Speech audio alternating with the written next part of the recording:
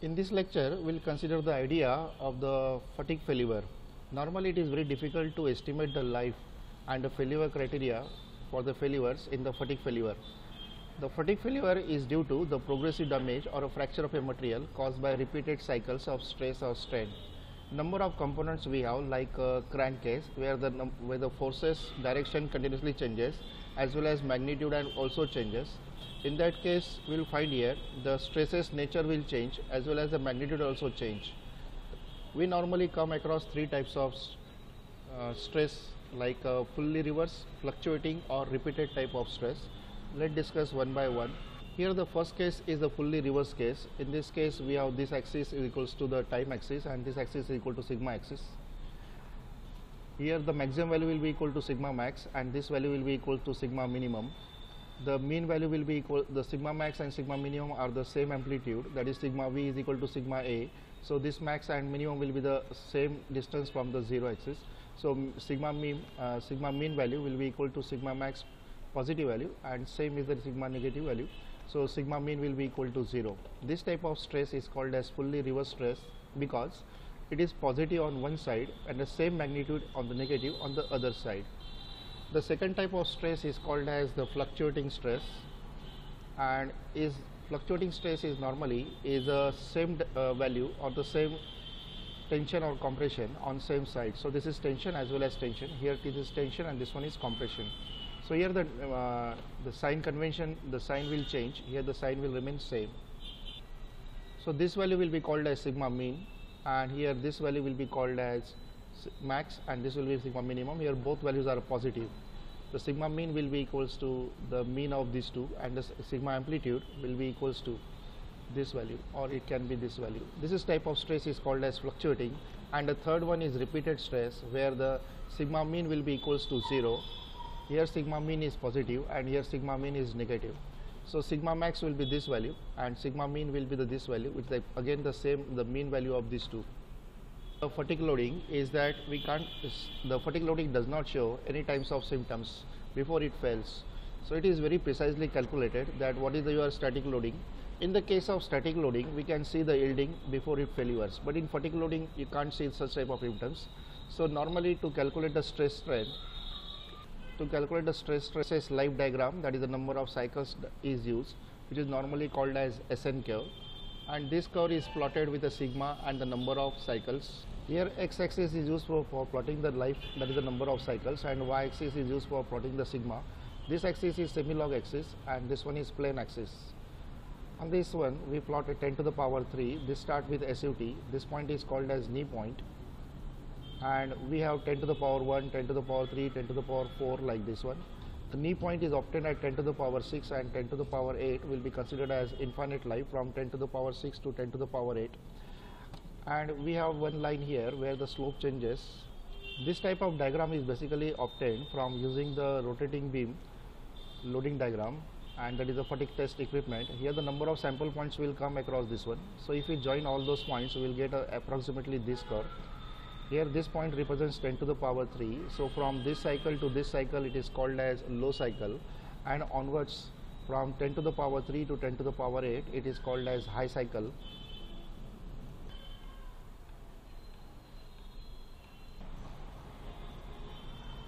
This point represents 10 to the power 3 cycles and the region from 1 to 10 to the power 3 cycles is normally called as low cycle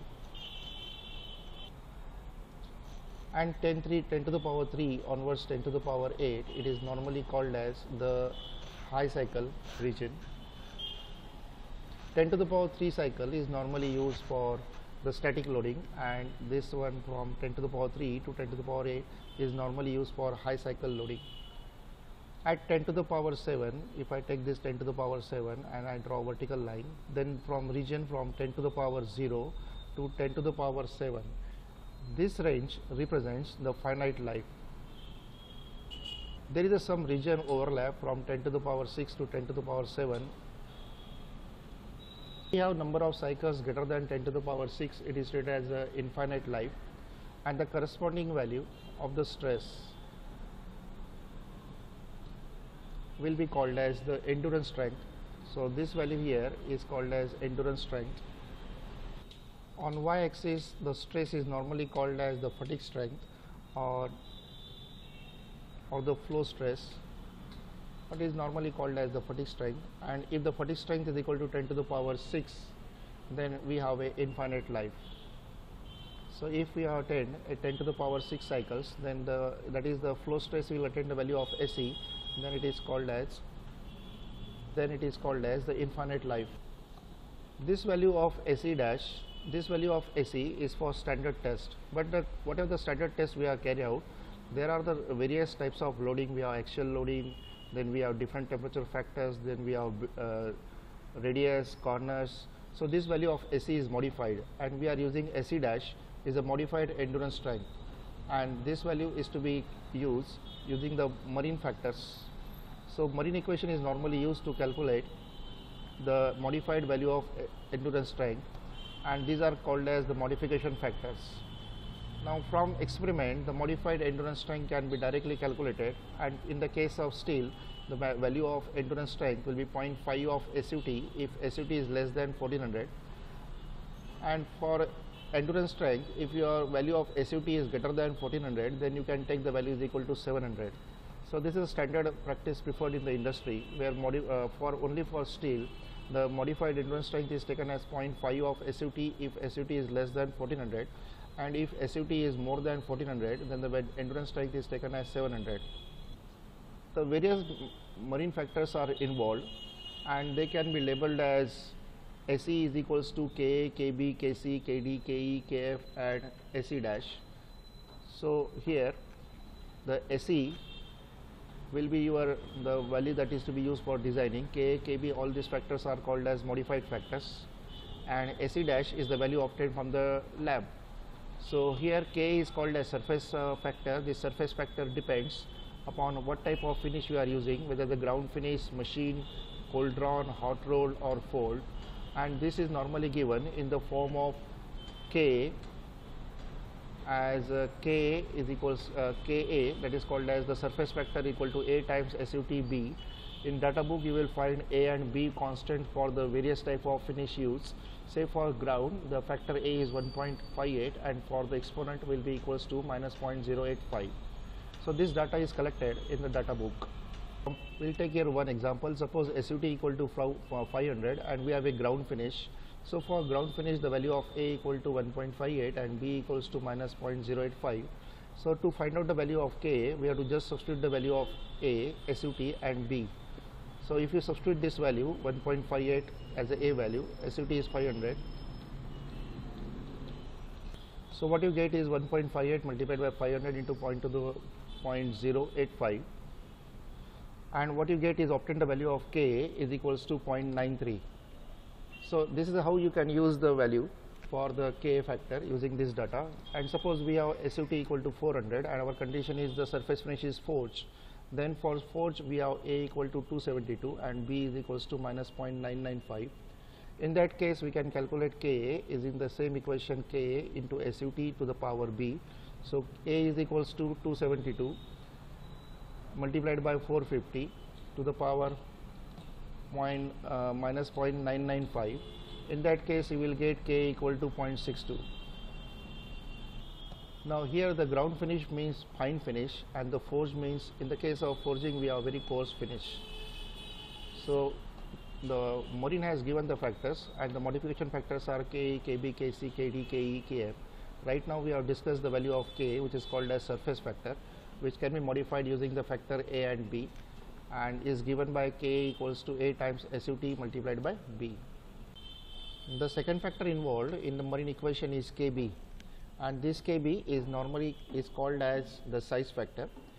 This factor is important because whatever the testing we are carrying out it is carried out at standard parts and normally we are using the different parts as compared to the standard specimen so the Kb is normally calculated using the two equations that is given here. Kb equal to d divided by 7.62 to the power minus 0.107 where the diameter is between 2.79 to 51 and if the diameter exceeds than 51 mm to 254 then this Kb is calculated using 1.51 d to the power minus 1.157 even the Kb is also depending upon what type of loading we have.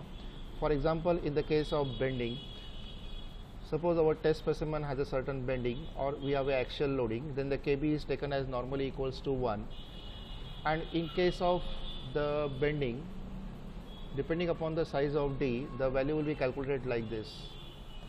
So here this is a regular geometry and this is the diameter D of the specimen and this diameter D has to be used in this equation and the constraints are given here up to 51 to 2.79 the diameter is calculated as the first relation and from 51 to 254 you have to calculate using this relation. The third factor involved is called as the loading factor Kc. In the case of the bending it is equals to 1. In the case of axial loading Kc is normally taken as 0.85 and whereas in the case of torsional loading the value of Kc is taken as 1.1. So here which we have uh, discussed right now three factors one is Kb, Kc and K, Ka, Kb and Kc where K is called as surface factor, Kb is called as size factor and Kc is called as the loading factor. The fourth factor in this equation is Kd factor and this factor is called as temperature factor and this factor normally depends upon the temperature that we are using. Suppose the temperature will change, the value of Kd will also change, the data is available in the data book. The fifth factor involved in the series is Ke and it is called as reliability factor and is normally given by Ke equal to 1 minus 0.08 times ZA. So reliability can be having 50%, 90% to 99% and ZA value will change from 0 to maximum value of 2.376 and K will be equals to 0.814. Depending upon reliability what you want, you can substitute the value of ZA and KE and you can calculate the value of KE from this equation. If your reliability is 50%, then KE will be equals to 1 and if the reliability, reliability equals to 99%, your KE value will fall to 0.814. The last factor is Km and this factor is called as miscellaneous factor. Any other factor other than this will be included in the miscellaneous factor. So whatever the value of SE we obtained in the laboratory that is SE dash is to be modified using marine factor and is given by marine and the K, KB that is the surface factor, size factor, loading factor, then temperature factor, reliability factor and miscellaneous factor and we have seen the how to calculate this value. After you modify this value you are able to calculate the value of SE in your SN diagram and this diagram is given as we have discussed initially. So this axis is equals to your number of cycles. This is sigma axis. At knee point where value is 10 to the power 6, this value is SE. For this region, approximately SN diagram is for high cycle is considered as greater than 10 to the power 3. If we consider the points here, the line between 10 to the power 3 to 10 to the power uh, 6, that is from point A to point B, that is up to this diagram only. So A has a certain coordinate x equals to x coordinate is uh, 10 to the power 3 and y coordinate is SF. The value of A on x axis is given by f times multiplied by SUT. f is a factor which depend on SUT we will discuss this relation just now. But before this we have the coordinate of a which is the x coordinate is 10 to the power 3 and y coordinate is f times SUT whereas the coordinate of b the x coordinate is 10 to the power 6 and this f is called as the fatigue strength fraction the value of b the x coordinate is 10 to the power 6 and the x y value is SE so using this a and b we can draw uh, the, we can form the equation of a straight line. The value of f is calculated as a y-axis and SUT is plotted on this one. The maximum value is 0.9. For SUT, this is lowest value of SUT. For lowest value of SUT is 0.9. Later on the value of f will go on decreasing. As 1400 the value will fall very small. For any value less than 390, f is normally taken as 0.9. If the whole data is plotted on the log-log scale, then we have the equation of a straight line y is equal to mx plus c. On y we are using on y axis we are using the flow stress and x axis we are using the number of cycles. So we have y is replaced by log of sf a x is your ln of number of cycles plus b. From the point a and b if you substitute you can obtain the constants here. If you substitute from a value in this equation and b value in this equation we can solve for a and b and we get a is equals to if you eliminate the log here what you get is sf a this is n to the power b and if we get this equation, the value of A will be obtained as F times SUT to the power whole square divided by SE and B will be equals to minus 1 by 3 log of F into SUT by SE. We can obtain these two constant A and B by putting the two values or two boundary condition, one is A and one is B. For completely reverse torsion, you can replace SUT with the value of SSU which is equals to 0.67 of SUT sigma amplitude is replaced by tau a and SE equation we have to take the Kc equals to 0.59. Value of A and B are calculated using this equation if you substitute again the boundary condition. In the case of static loading, the fatigue stress concentration factor are not considered. Fatigue stress concentration factor is given by Kf and Kfs for shear. Kf is normally used for tensile and Kfs is normally used for shear. In static loading, for ductile material we do not consider the Kf and Kfs but for fatigue loading of a ductile material we have to consider the value of Kf and Kfs as well as in the case of brittle material.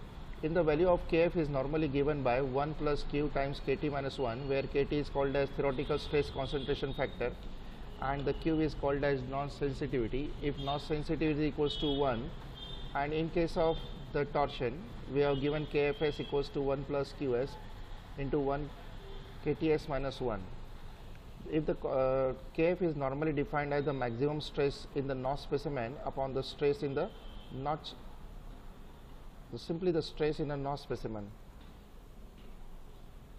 if the value of q is equals to 1 then we get kf is equal to kt and if q is equals to 0 we'll get kf equals to 1 so these equations are normally used for in the case of the fatigue loading.